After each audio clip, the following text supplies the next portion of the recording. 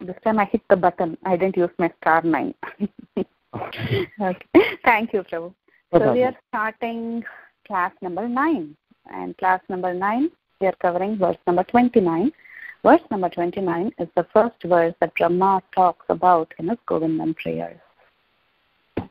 Okay, so I will um, read the verse first and then we'll do the word to word as usual. We'll go on. Chintamani प्रकरसत्मषु कल्पवृक्षा लक्षावतेषु सुरभिरभिपालयन्तम् लक्ष्मीसहस्रशतसम्भ्रमसेव्यमानम् गोविन्दमादिपुरुषं तमहं भजामि। Chintamani, touchstone, prakara, groups made of sadmashu in abodes, kalpavriksha of desire trees, laksha by millions, avarteshu surrounded, surabhihi, surabhi cows, abhipalyantam tending, lakshmi of goddess of fortune, sahasra of thousands, shata by hundreds, sambhrama with great respect, sevyamanam being served, Govindam, Govinda, Adipurusham, the original person, Tam, him, Aham, I, Bhajami, worship. Translation I worship Govinda, the primeval Lord, the first progenitor, who is tending the cows, yielding all desire in the abodes built with spiritual gems, surrounded by millions of purpose trees, always served with great reverence and affection by hundreds and thousands of Lakshmis or gopis. Nice. Yeah, actually the purport is very small, so we'll read the purport also, then we'll get into discussion. Purport. By the word Chintamani is, is meant transcendental gem. Just as Maya builds this mundane universe with the five material elements, so the spiritual chit potency has built the spiritual world of transcendental gems. The Chintamani, which serves as material in the building of the abode of the Supreme Lord of Goloka, is a far rarer and more agreeable entity than the philosopher's stone. The purpose tree yields only the fruits of piety, wealth, fulfillment of desire, and liberation.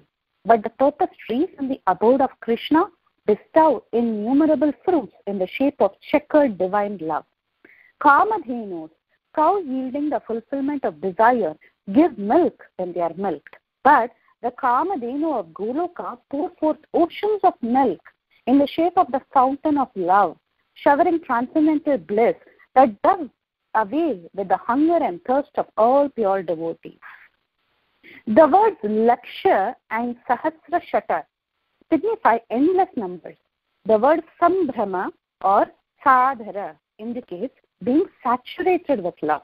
Here, Lakshmi denotes Gopi, Adi Purna, uh, uh, sorry, Adi Purusha it should be. There is it looks like it's a typo there. Adi Purusha means he who is the primeval Lord. Such a beautiful purport. So, um, each and every word that is being spoken by Brahma is being elaborated uh, by Bhakti Siddhanta Saraswati, and he's telling us how the same things in the material world, they have a very different purpose. But when you see the same things in Goloka Vrindavan, they are totally different. They're just satisfying the devotees, and what do the devotees want? They want endless love for Krishna. So this endless love for Krishna is being satisfied again and again by so many ways. So let's before we uh, oh yeah we have to do a quick recap because we have to finish what we have done in part one. So I'll try to cover it as fast as possible because we should not forget part one before we enter part two. So I will do the entire part one quickly and then we'll get into uh, today's class. Quick recap so far. Class number one, we did introduction. How Chaitanya, uh, how Chaitanya Mahaprabhu uh, retrieved the Brahma Samhita from the Adi Keshava temple and we saw a, a breakdown of the Brahma Samhita. Class number two were verses 1 and 2 which is Ishvara Parama Krishna, which is the Paribhasha Sutra uh, of the Brahma Samhita. And uh, we saw a general description about Goloka Vrindavan and how Goloka and Gokul of this Bhauma Vrindavan are the same. Class number three, we covered verses 3 and 4. We saw the transcendental residence of Radha Krishna, the central world. And then we discussed about the yantra, the Shatkona yantra, and mantra, uh, Gopal Gayatri, or we just call it the Gopal Mantra. And then we discussed about Prakata and Aprakata Leela and how one enters into the Aprakata Leela within the Gokul Vrindavan of this world and how the petals in Goloka Vrindavan are the residence of the gopis and the uh, other associates of Krishna. Class number 4, we discussed verses 5 and 6. How the Chaturvyuha are actually present in Goloka. Who are the Chaturvyuha? Pradyumna, Aniruddha, uh, Shankarsana, Vasudeva. They are also present in Goloka Vrindavan. They are the Adi Chaturvyuha.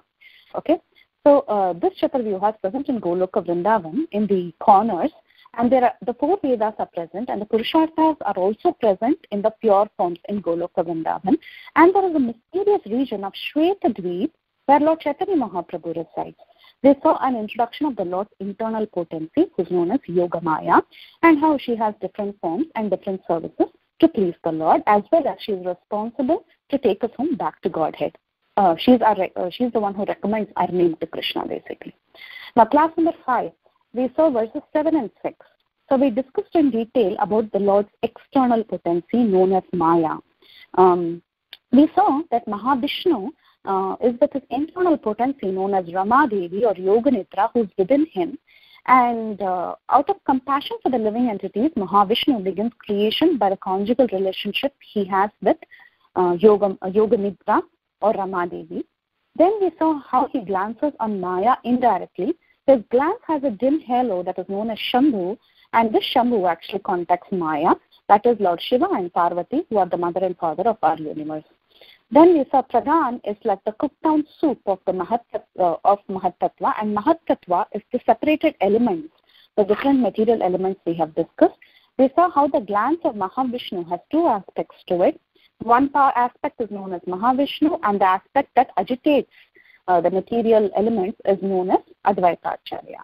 Um, then we saw, uh, yeah, how Lord Vishnu, or rather Karanodakashayi Vishnu, or you can call him Mahavishnu, is the original cause of creation, whereas uh, mm, Shambhu and Maya are the immediate cause, or rather that's what we, uh, they are responsible for the further creation. But the desire of Mahavishnu is the original cause. Class number 6, we did verses 9 to 15 and uh, we got into the details of creation. We discussed the male and female principle of creation, how Maya and Shambhu actually execute creation. Then we saw how the universes are like little golden sperms that emanate from the pores of the body of Mahavishnu when he exhales and enters into the accommodating chamber, uh, which is the material world and the elements that are there, they cover these seeds and they enlarge, the, these golden sperms enlarge, but still these elements are not cooperating. Then the different characters like Garbhodakashayi Vishnu, who's an expansion of Mahavishnu, is created. Kshirodakashayi Vishnu comes from his left limb and Brahma Prajapati is created from his right, right limb. So this was discussed. Then we saw how the elements of nature go and pray to Mahavishnu to help them combine. Class number 7 we covered verses 16 to 21. We saw that the false ego is a gift from Shambhu to us. However, the good side of it is that the internal energy is much more powerful and with the mercy of the devotees performing devotional service, we can easily conquer this false ego and return back to the spiritual world. So we saw that the ingredients of matter were praying to Mahavishnu Mm, and uh, while they prayed to Mahavishnu, Kshirodakashayi Vishnu entered the elements with his energy Kali and helped these materials to cooperate. They formed layers around the sperm and it started expanding and expanding and they were floating like footballs for eons and, the, and, uh, and eons. And then the Garbhodak uh, Vishnu, he entered into the Garbhodak ocean and from the sweat of his body, the Garbhodak ocean was created and this Garbhodakashayi Vishnu, he himself expanded as the original Virat Rupa, and Brahma got a blueprint of this Virat Rupa in his subtle body. Subtle uh, body of the universal form was given to Brahma uh, before he was born in the lotus. It was transferred to the subtle body of Brahma. Then um, the Lord actually in the blueprint, he teaches where each and every part of the universe will fit and then he withdraws his original Virat Rupa and then the karma and activity of the jivas who are resting inside the body of Garbhodakashayi Vishnu of each and every universe is awakened. And we discussed the intrinsic nature of the jiva, how the jiva is dependent on the Lord, yet they are part and parcels of the Supreme Lord. Class number 8. This was the last class of part 1. So we discovered verses 22 to 28 we saw that Brahma emerged from the lotus and he was confused as to who he was. Saraswati Devi gave him the Gopala mantra. He chanted this for many, many years and then he heard a beautiful sound which was Krishna's flute. And once he heard the sound of Krishna's flute, automatically the Kama Gayatri came out of his mouth. And this was his second initiation. He was directly initiated by Krishna for the second time. And then when uh, he made the statement, by the recollection of Kama Gayatri, it seems to me that I am the eternal maid servant of Krishna. Um, though the other mysteries in regard to the condition of the maid servant of Krishna were not revealed to him, uh, then he begins to sing the Brahma Samhita prayers. And then that's what we're going to discuss today. And then Bhakti Saraswati makes a statement. Readers are requested to study and try to enter the spirit of this Brahma Samhita prayers with great care and attention as a regular daily function. And the mantra starts from verse number 29, which we have already read today. And we sing these prayers during our Shringara Arati. So, um, or welcoming the deities, as we call it. Okay? So we read verse number 21, beginning 29, sorry, beginning with Chintamani Prakara Sadmashu Kalpavriksha, correct? Yeah. Prakara Sadmashu Kalpavriksha. Okay. So um, uh, Bhakti Siddhanta Saraswati, actually you just look at the Sanskrit. It begins with Chintamani Prakara Sadmashu Kalpavriksha Lakshavrateshu Surabhir. But you look at the translation given by Bhakti Siddhanta Saraswati, how he translates this. He says, I worship Govinda, the primeval Lord, the first progenitor who's tending cows, yielding all desire in the abode built with spiritual gems, surrounded by millions of purpose trees. So this is how he begins with. If you look at the verse, Sanskrit verse, it begins with the spiritual gems. It doesn't begin with Govinda who's tending cows. But rather, Bhakti Siddhanta Saraswati, in his translation, he has given more importance to this point. He begins with, I worship Govinda, the primeval Lord, who's the first progenitor who's tending cows. So that's how Govinda is introduced, or Krishna is introduced. That is the main function of Krishna, actually. He's the lover of cows. Uh, all this Chintamani and all takes a second stand, actually. At least in the rasa of Bhakti, uh, how Bhakti Siddhanta Saraswati visualizes uh, Krishna. Not only Bhakti Saraswati, but we have also seen how Brahma, even he had this fascination. In the very first verse, remember Ishvara Paramakrishna, Sachidananda Vigraha, Anadiradir Govinda Sarvakarana Karanam. The original cause of all causes is Krishna, but which Krishna? Govinda Krishna. Even Brahma has this realization, and everyone has this fascination for the Govinda aspect of Krishna. Uh, that's what makes Krishna as Krishna. He is the Lord of the cows. That is his first, uh, you know, say uh, his favorite thing, being the Lord of cows. Then only he's the Lord of the Brahmanas or whoever it is. But first, he's the Lord of the cows. So he loves the cows. Now, mm, okay. Uh, when Krishna was three years old, when he was a very, very small baby, three years old, he was actually, he started walking, he was running, and he was a little boy. And he was very excited, uh, born in, I mean, uh, uh, he was born and raised in a Vaishya family.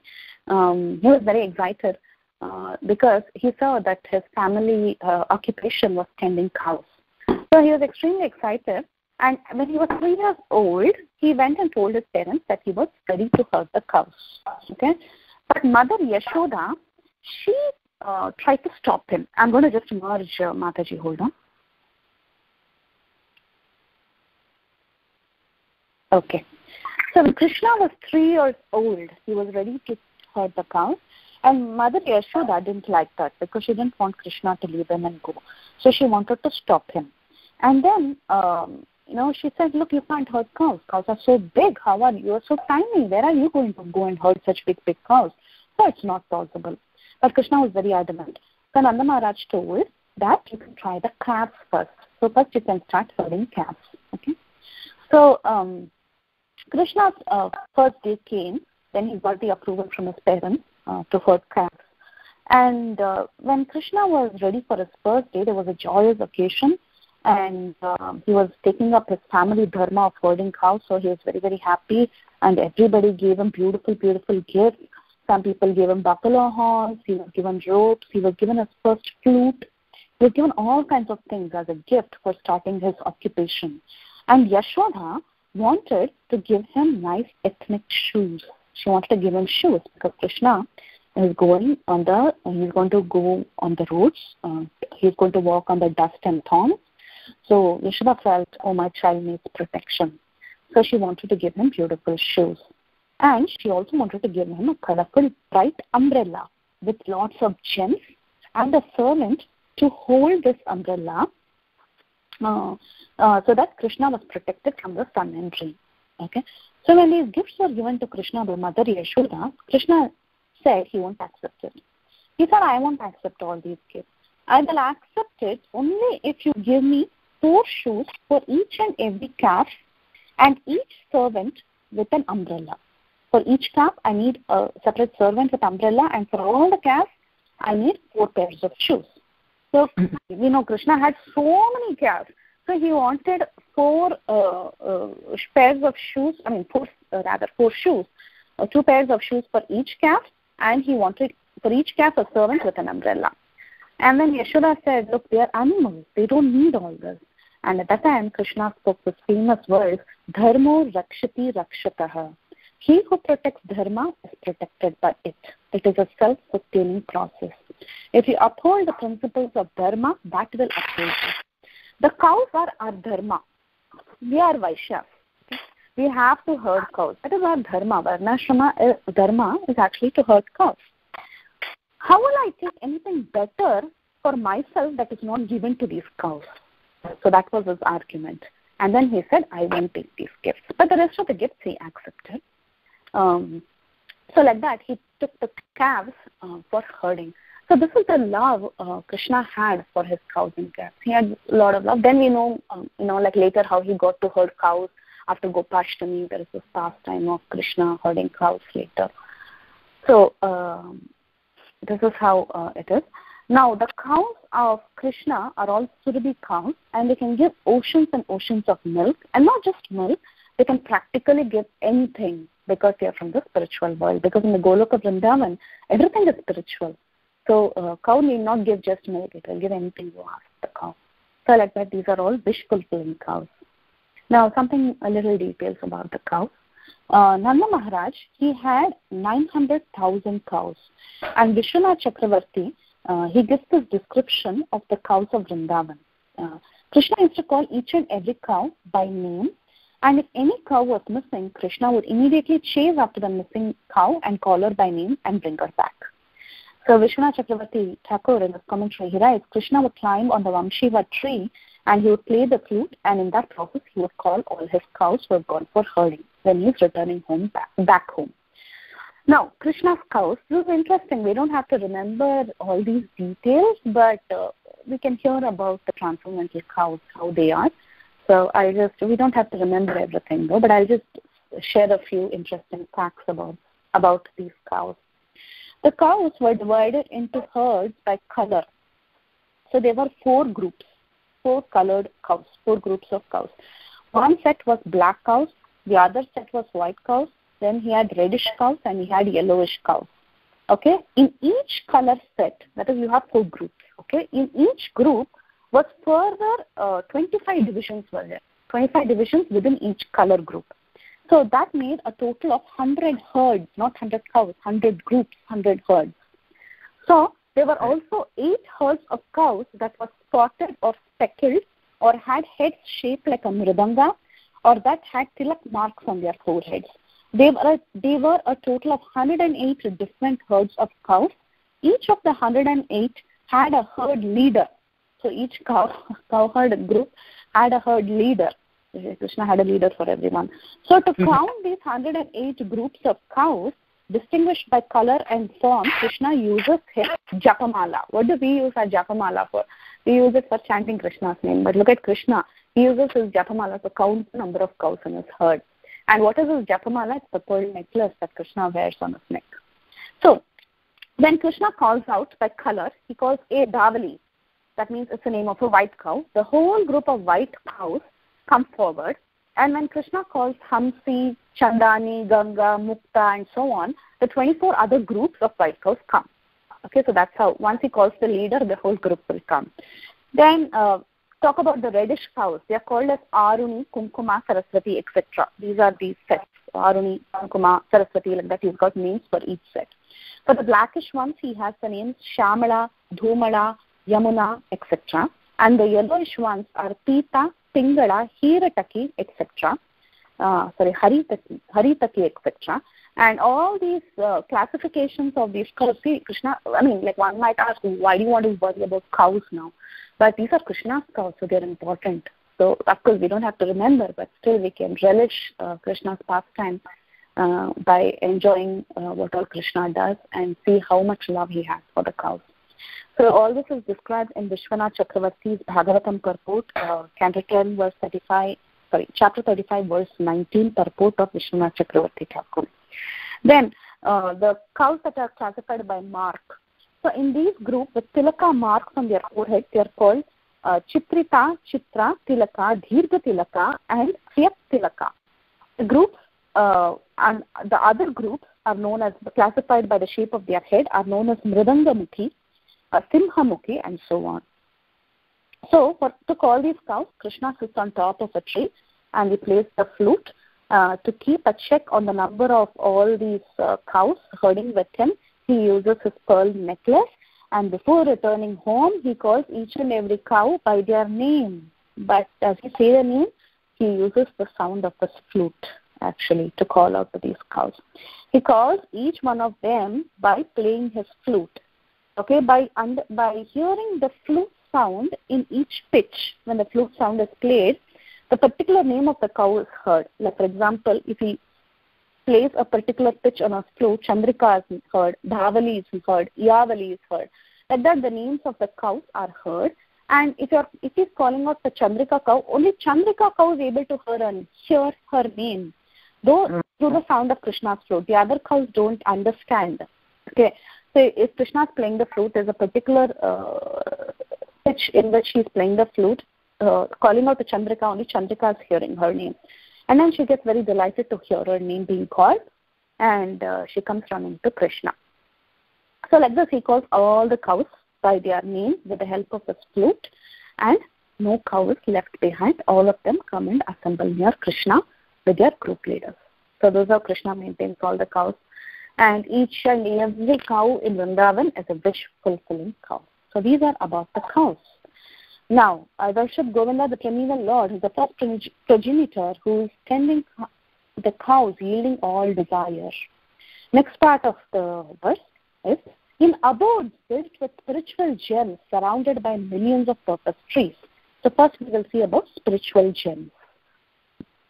Interestingly, in the purport, uh, Vishwanath Chakravarti Thakur mentions that Goloka Vrindavan itself, the sand, the dust, the rocks, Everything is Chintamani. And this Chintamani is very different from the touchstone of this material world. So let's see how it is different. Chintamani. First, let's see how they use it uh, in Goloka Vrindavan. This Chintamani, they're just like found like, you know, how you see rocks on the road. Like in our material world also, we have so many stones and rocks and dust. Like that, uh, in Goloka Vrindavan, everything is Chintamani. And the gopis, they use it to make their anklets they use it to uh, as a toe support on their slippers. Like you've seen these uh, sannyasi shoes and uh, wooden shoes of those days, right? So they have a, a, a, a feet-shaped plank, and on top of that, between the big toe and the rest of the fingers, there is a separator, one small separator. So for that separator, these gopis they use chintamani jewels to separate the toe and the rest of the fingers. That's how they use them. They use it as slippers, basically, support for slippers. And then um, not only that, Vrindavan Vasis use Chintamani as a door stopper to keep the door open so that they can see Krishna coming inside the city or inside the village when he has gone for herding cows. So when it's evening, all the gopis are so excited to see Krishna. So everyone keeps the door open and as a door stopper, they keep big, big chintamani. huge chintamani are kept. Um, so there is actually uh, a pastime of uh, um, uh, in Chaitanya Charitamrita about Hera Panchami. So Hera Panchami is a festival that is celebrated in Jagannath Puri that happens after the Rath Yatra. Hmm?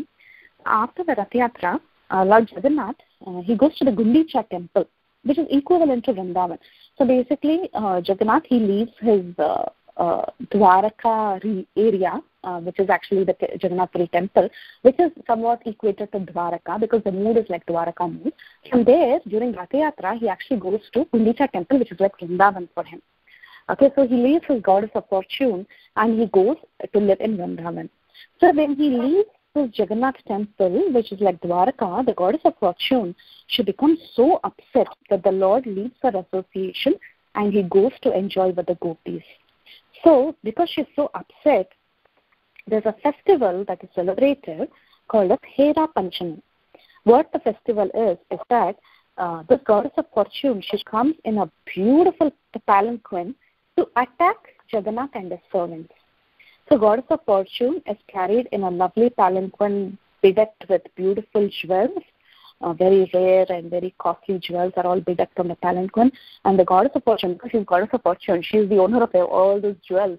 So she sits on that and with a lot of pride, she comes to attack Lord Jagannath because he has left her and he's gone to some other ladies, to the gopis basically. So um, she comes with her servants. All her lady servants are assisting her, and they all reach Gundicha Mandir in a procession. And they go, all the lady servants are attacking the male servants of Lord Jagannath. All the men are being hit by sticks, and everyone is being attacked. So, Goddess Lakshmi, she shows her power that she is the wife of the Lord, and she exercises her position as the goddess of fortune. Uh, she becomes very, very angry and uh, in that mood, uh, you know, with sticks, they are actually attacking the entire Gundicha temple and the servants are all beaten up. And then the servants are arrested by the servants of Goddess Lakshmi. And then she chastises Lord Jagannath. She, she screams at Lord Jagannath and she chastises him, saying that you're so bad, you left me and you went somewhere else and all that. So uh, at that time, Jagannath's servants, they promise, they surrender to these ladies and they promise that they will bring back Jagannath the very next day, but they don't keep up their promise. And Jagannath comes back maybe after the eighth day or something. I don't know the exact number of days of Rath Yatra, um, but he comes back much later. So uh, that's how uh, the celebration is. So this is called as the Hera Panchami festival. Goddess of Fortune being angry with Lord Jagannath and she and her servants are attacking the Gundicha Mandir because Lord Jagannath has left her company. Okay. Now, when this uh, festival was going on, uh, Chaitanya Mahaprabhu, Srivas Thakur, all of them, um, Swarup Damodar, all the associates of Chaitanya Mahaprabhu, uh, they were standing there and they were watching. So when uh, thing was happening, uh, Srivas Thakur, he got very excited. So Srivas Thakur, as we all know, he's Narada. Okay, Narada is always in the mood of worship of Lakshmi Narayan. Hmm? That's the mood of Narada generally. He's not, he always says Narayana, Narayana, right? So his actual mood is the worship of Lakshmi Narayan. So when he sees his worshipable goddess of fortune has defeated all the servants of uh, Lord Jagannath, who's gone in his Vrindavan mood, uh, he thought this is awesome. So he said, you are all Vrindavan ha- inhabitants. Uh, what is your opulence? Maybe few leaves, few twigs, flowers, some churned yogurt. But here, here you see Lakshmi, she's sitting on the throne and uh, you know and she's so great and she's able to easily defeat all your Jagannath servants. That is the glory of my Lakshmi. So um, like that, Narada, he becomes very excited uh, seeing uh, Lakshmi uh, defeating everybody. And uh, he talks about Vrindavan, saying that, what Vrindavan, look at my Vaikuntha. So, and look at my goddess of fortune. So at that time, Lord Chaitanya Mahaprabhu, he starts laughing and uh, he's like, okay, you're talking a lot. Uh, so he looks at uh, Swarup Damodar to give a counter. So at that time, Swarup Damodar, Swarup Damodar we know Swarup Damodar is actually, uh, mm, in some places she's Lalita and some places she's Vishaka. So take her to be one of these two okay? Uh, in many places she's actually Lalita and some places she's mentioned as Vishaka. There are different scriptures, I mean, like Gaura Ganoddesha Deepika gives one view another uh, like uh, Bhakti Siddhanta Saraswati gives a different way. So there is a little difference, but it's okay, doesn't matter. So basically, she's one of the chief of the Ashtasakhis. She's the leader of the Ashtasakhis. Okay, she, uh, she, he, because it's Swarup Damodar here. So Chaitanya Mahaprabhu looks at Swarup Damodar and says, okay, it's time for you to talk about Vrindavan. Then at that time, uh, Swarup Damodar, he paraphrases this verse 29 of Brahma Samhita uh, he uh, he paraphrases this verse about how everything is chintamani in Goloka Vrindavan. What are you talking about uh, jewels? But in, uh, you know, you're talking about some jewels studded on a palanquin, blah, blah. Uh, look at my uh, Goloka Vrindavan. Everything is Chintamani. Even the dust the people walk on, they walk on Chintamani. They use it as door stoppers. They use it on their feet.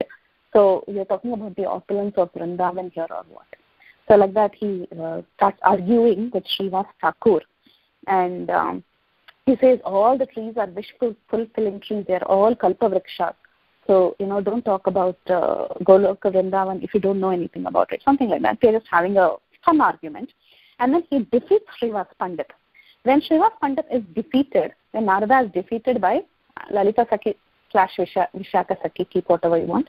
So when uh, uh, Srivas Thakur is defeated like this, he feels ecstasy because he is also a devotee of Lord Krishna at the same time. It is Srivas Thakur, he is a devotee of Lord Chaitanya Mahaprabhu. Of course, his Narayana mood came up, uh, Narayana worship mood uh, like showed up, but still he is Srivas Thakur, right? He is also a resident of Goloka Vrindavan as an associate of Chaitanya Mahaprabhu. So he felt ecstasy in being defeated and he started jumping and he claps and he laughs, clapping his arms. So there's a very nice pastime where um, Swarup actually quotes verse number 29 and also verse number 56 in a different way, paraphrased. It's not the exact verse that he quotes, but the content is the same from Brahma Samhita about everything being Chintamani in Goloka Vrindavan. Okay? Now we have to see some interesting quotes which I want to present uh, uh, because all the Maharajas have presented these quotes, so I thought it is important for us to hear these. Just for nectar, we can hear these. Sri, Sri Vrajariti Chintamani, written by Vishwanath Chakravarti Thakur. It talks about the dust of Vraja. So let's see what he has to say about the dust of Vraja. In some places, the ground of Vraja is made of camphor dust. In some places, it is saffron. In some places, it is made of ground musk. And in some places, it is made of aromatic substances used in religious ceremonies. In some places, the ground of Vraja is made of emeralds. In other places, it is made of a variety of precious gems. In some places, of uh, the fresh grasses of Vraja, which are eaten by the cows and other em- animals. In some places, there are emeralds studded. So this is how Goloka Vrindavan is. In some places, the ground of Vraja is like a golden Jambu river. In other places, it is made of sapphires. Although all the trees in Vrindavan are Kalpa Vriksha trees, uh, wait, wait, wait, wait, wait. Let's not go to Kalpavriksha. Okay, we'll go to Kalpavriksha. Although all the trees in Vrindavan are Kalpavriksha trees, still there is one among them which is especially glorious. That tree is the source of all the Kalpavrikshas, and because of this tree, the rest of the trees in her association they become Kalpavriksha trees. So, and uh, Vishnu Chakravarti Thakur he says that this particular tree grows next to a jeweled palace in a supremely charming grove. It appears to be the Kalpavriksha that we see on the center of the world in Goloka Vrindavan where Radha and Krishna are residing. Um, it appears to be that, but I don't want to give a committal uh, word, uh, but still it appears to be that. Because of that one uh, Kalpavriksha tree which is present at the rest of the trees that grow in Goloka Vrindavan and also in Bhauma Vrindavan, all the trees are Kalpavriksha trees. That's why when you go on uh, Vrajaparikrama, when you go to Vrindavan, uh, everybody recommends that you go and pray to these trees, not for material desires, but for spiritual desires. And immediately, because they are Kalpa Vriksha trees, they will satisfy you. Immediately, they will give result. So that is the power of Kalpa Vriksha trees, especially when you go to Vrindavan, pray to the trees. They are very, very merciful. The trees will grant your spiritual desires. So uh, Prabodhananda Saraswati, who wrote Vrindavan Mahimamrita, he says, uh, for the pleasure of Sri Sri Radha and Krishna, the regal trees in Vrindavan forest assume many different forms. Some assume forms of the sweetest nectar, others take the form of splendid transcendental milk and cream, other forms of intoxicating liquors, uh, other forms of crystal, and other forms of very cooling camphor. Uh, may Vrindavan, where following Sri Sri Radha Krishna joking orders, the fortunate regal trees bowed down to offer respects, resting their branches on the ground, then become charming, uh, flower-filled many branches pavilion, and then from where the hand uh, can grasp up to the lovely tops, bloom with many flowers, and show auspiciousness to me. May Vrindavan forest, where some of the trees are more splendid than millions of blazing midday suns, some are more brilliant than millions of Kalpagni fires burning at the time of cosmic delusion, dissolution, some more charming than a great flood of splendid cooling moonlight, some more splendid than red gunja berries, some more clear and splendid than millions of brilliant crystals, some charmingly decorated with splendid new shoes, some splendid as a light, limitless flood of molten gold, some splendid as diamond necklaces, some splendid as flocks of parrots, some splendid as black mascara, and some splendid as, as roses, and where in this way the eternal blissful material spiritual forms of the many regal wonderful flower filled trees display a great array of many different splendid and in, in, indescribable transcendental colors be eternally manifest before me. This is all um, description of Goloka Vrindavan for you to hear. Desire trees, any fruit, any variety, any time, anything you want is available in Vrindavan. Uh, actually, there's a Kalpavriksha tree, um, a special Kalpavriksha tree, especially for us, uh, because we are followers of Srila Prabhupada, that is there uh, in the uh, Krishna Balram Mandir. In the center of the Krishna Balram Mandir in Vrindavan, you can see a tree. Okay, so actually, when the Krishna Balram Mandir was built, uh, they wanted to cut down the tree because it was somewhat in the center of the courtyard. It's like you know, uh, uh, actually, uh, what do you say, obstructing the pathways and all that. So um, everyone they wanted to cut the tree. So at that time, Srila Prabhupada said, um, don't cut the tree. It's a very special tree. It's a desire tree. So don't cut the tree at all. So even to this day, this, this tree is worshipped. Not only this tree, there are so many trees that are worshipped. Actually, every tree is worshipped in Vrindavan. So each and every tree is worshipped in Vrindavan. I think in Radha Damodar temple or something, there is one tree where everyone goes and embraces. So like that, uh, uh, this tree in uh, in our Krishna Balram temple is actually a tamal tree, black tree. Tamal trees are exactly like Krishna. Uh, I mean, the gopis when they would feel separation from Krishna, they would go and embrace the tamal tree because it is blackish. So they would feel like they're embracing Krishna in their separation. So the tamal tree is very special. So uh, Prabhupada said not to chop this tree. Okay, and um, and desire tree. When we say we go to Vrindavan and we say desire tree, it means um, devotees they have desire only for Krishna. Uh, they have only desire for Krishna. They don't have these material desires. Though, see, it is on Goloka Vrindavan, uh, Chintamani can yield anything, wish fulfilling, everything is wish fulfilling, but still, are the devotees using it to produce all that? Are they using it to produce wealth or, their, uh, or all that? No, they don't use it for that. They only uh, use it like, you know, how you would use an ordinary stone because all that their heart wants is Krishna. They don't want these material things.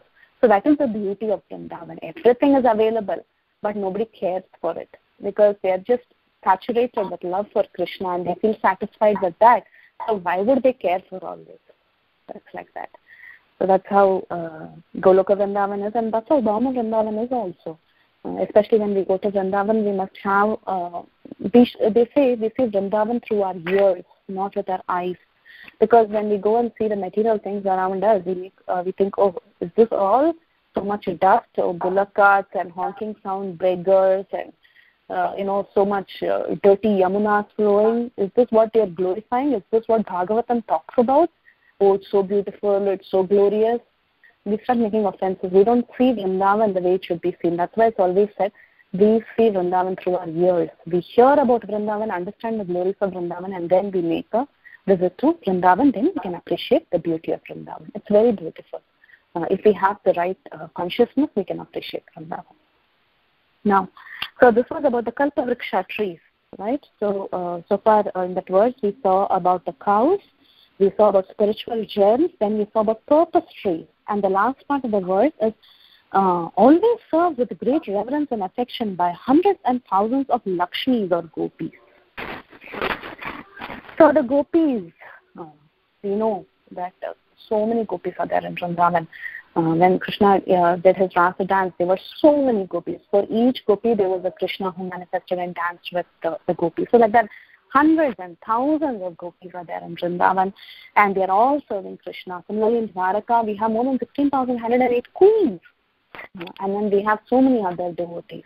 So like that, uh, this uh, Goloka Vrindavan is surrounded by hundreds and thousands of Lakshmis.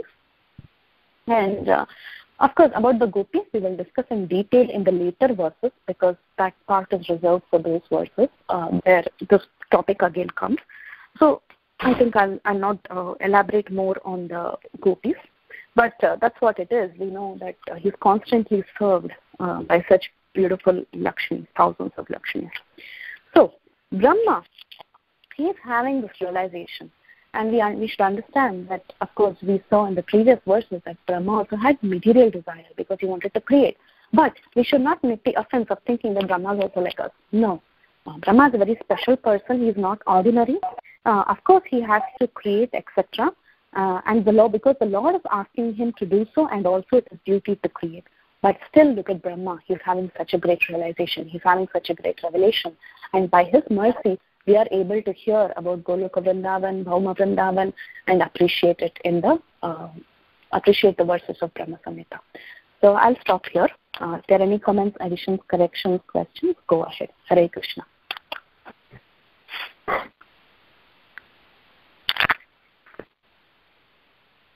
Hare Krishna, Preeti.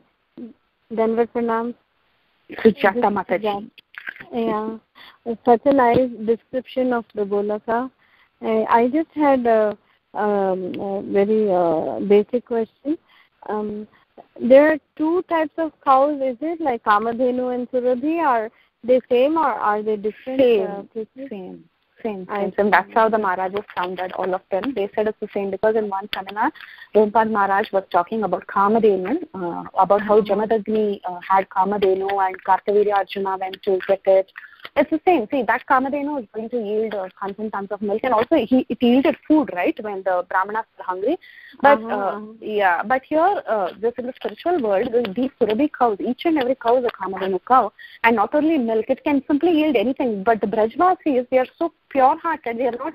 Many, most of them they don't care for it. In the sense, they are saturated with love for Krishna. Of course, if you go and ask milk to make sweet for Krishna, the Kamadhenus are going to give no doubt. But they are not attached to the idea that this Kamadhenu is giving me uh, this milk or this uh, food or whatever. It's like that. Okay? Yeah, they sure. are the same method. And, yeah. Uh-huh. And also, I have um, uh, another question. Mm. Um, uh, the uh, tree you said uh, in the um, Krishna Balaram temple is the tamal tree, right? Mm-hmm. The black tamal yeah. tree. Yeah. Okay, I just wanted to confirm. Mm. yeah, and Tamal Krishna Maharaj was telling that when they were constructing the temple and many people were talking that they are going to cut down the tree, Tamal Krishna Maharaj was thinking in his mind, because his name is Tamal Krishna, he should make his japamala from the Tamal tree. but then Prabhupada said, nothing doing, we are not cutting it. So it never happened that he made his japamala from that tree. Sure. Thank you, Preeti. I may have to log off now. Sure, sure, sure. Thank you for joining, Sujata Hari Bol. Thank you. Hari Thank you, Mataji. Hari Bol. Hari Bol. I just wanted to, um, as you were talking about the trees of Vrindavan, it reminded me of this verse in the, um, what is it, the, what's it called? Light of the Bhagavata. Mm talks about it speaks about the about the tree. So I wanted to read this one verse and a little bit of the purport. Yes. It's very, yes, very yes. nice. Yes, so it's verse number twenty four it says, When the Lord entered the forest of Vrindavana, all the inhabitants of the forest, both animate and inanimate, were eager to receive him. He saw that the flowers of the forest, all fully blossoming, were weeping in ecstasy, honey flowing down their petals. Mm-hmm. The waterfalls on the hilly rocks were gladly flowing, and one could hear sweet sounds from the caves nearby. The Lord and his and the purport. The Lord and his multifarious energies, and therefore the Lord and his energies are the Lord has multifarious energies, and therefore mm-hmm. the Lord and his energies are identical.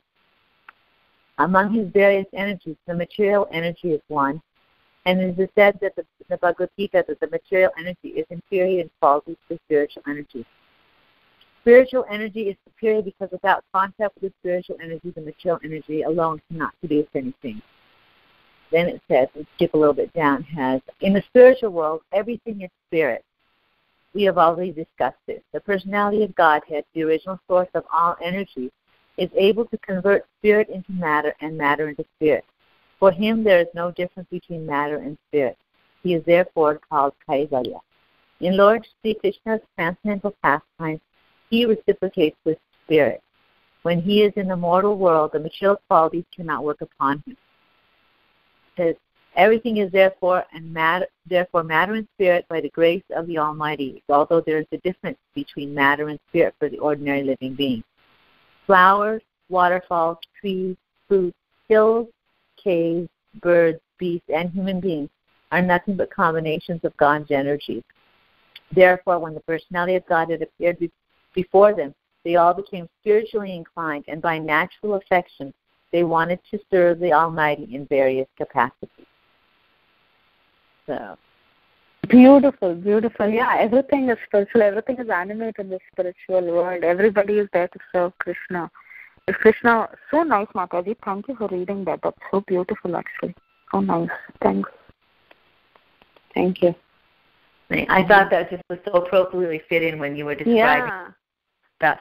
And especially, I was noticing also in that verse that um, in the in this the uh, verse 29, it hmm. says, well, I, I'm I've got to go back to it, but um, let me look at it really quick. Um, oh my goodness, where is it? When it talks about the Chintamani, it said the entity, that entity. Oh. I don't know if you. Let me just find it. oh. It says. It says in the purport. It says. Um, mm. The Chintamani, which serves as material in the building of the abode of the Supreme Lord of Goloka, is far rarer and more agreeable entity than the philosopher's stone. I oh, thought yeah, it was I very. To, thanks. Yeah, thank you for reminding me because I missed one part, which I have to say. Uh, I didn't. Uh, I don't. I don't have any notes for it being. Of course, it is an entity since everything is uh, alive in the spiritual world. But I just missed one paragraph that I wanted to say uh, about Chintamani.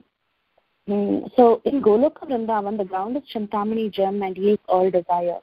In common terms, we use the name touchstone to make uh, to uh, to mean that which turns iron into gold. In this world, when we say philosopher's stone or touchstone, we mean uh, about a stone that when it uh, that is used to convert iron into gold. So um, there is this uh, method of doing it that uh, Maharaj was explaining that they drink uh, these yogis, um, they uh, practice very heavy austerities and they drink mercury and they're able to hold it in their body and they sleep it out o- overnight and then the next day morning they urinate and uh, when they urinate uh, from their body, the liquid that comes out, it actually converts iron into gold. So uh, in the material world, it is possible for certain yogis who have gone through certain practices. But anyhow, uh, a touchstone is used to when it touches other iron pieces, that also becomes stone. So that's how it is used in this material world, also known as philosoph- philosopher's stone. But in the spiritual world, it is chintamani. It's, it just gets everything.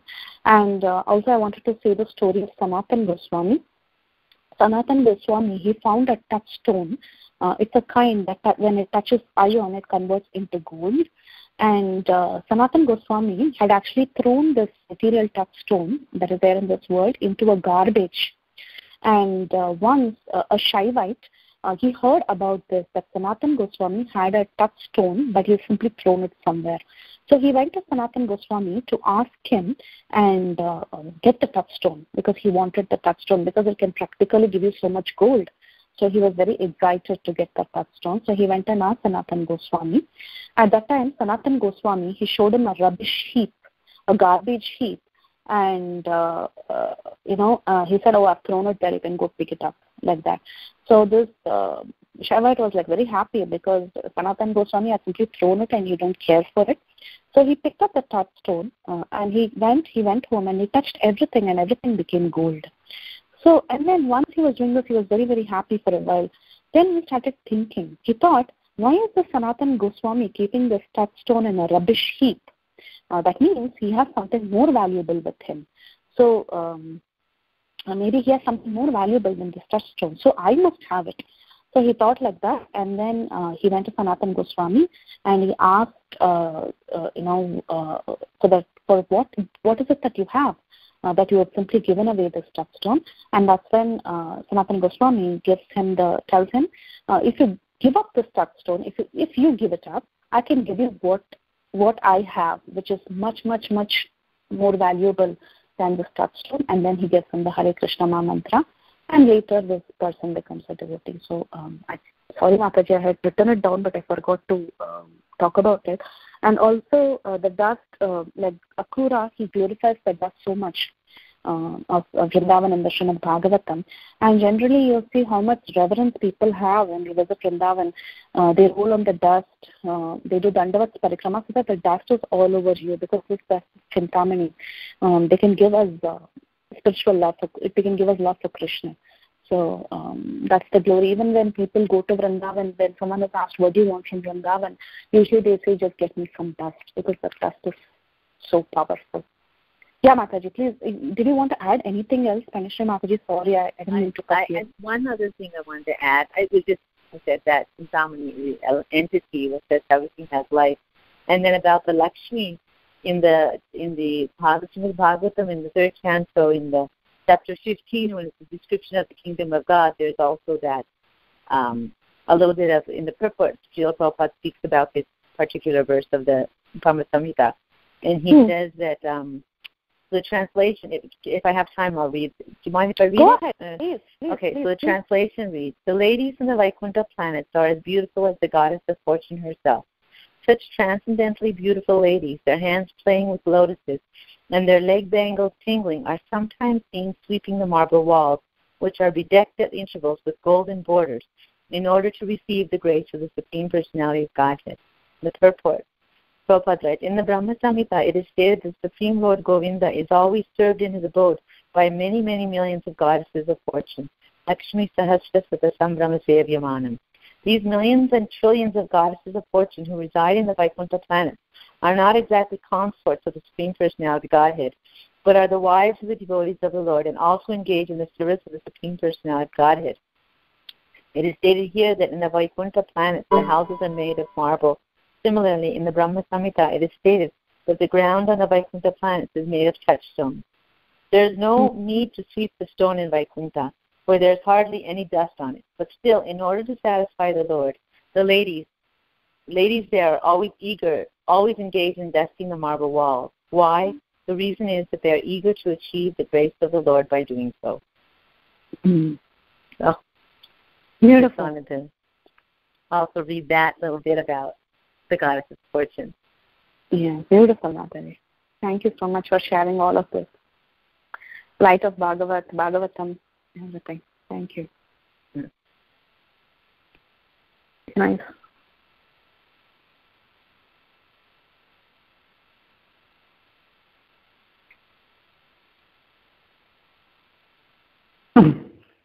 Hare Krishna Mataji, Dandar Mataji. Uh, it's very nice class Mataji. Uh, very nice. Uh, I have no questions Mataji. Uh, the way you explained, uh, that's very good Mataji. And also Mataji added to comment. Uh, What, what, what? Mataji also some uh, comments made Mataji. Uh, they are making uh, more sense to me Mataji. Yeah. Now the next job is to read it uh, in a peace of mind, then uh, I'll understand more Mataji.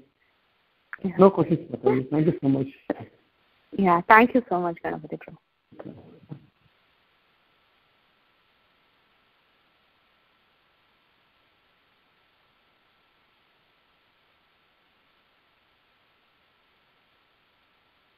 Okay. I think uh, Vishwan Prabhu just dropped off Not sure why, but we'll probably end the call. वाञ्छाकल्पतरुभ्यश्च कृपा सन्दुभ्यैव च पतितानां पावनेभ्यो वैष्णवेभ्यो नमो नमः। अनंत कोटि वैष्णव की जय नमाचार्य श्री हरिदास ठाकुर की जय श्री ब्रह्म संहिता की जय all glory to the Assam Hare Krishna thank you all so much for your beautiful अनंत कोटि very nice discussion and thanks माता जी for sharing such nice process thank you Hare बोल हरे बोल हरे बोल प्रभु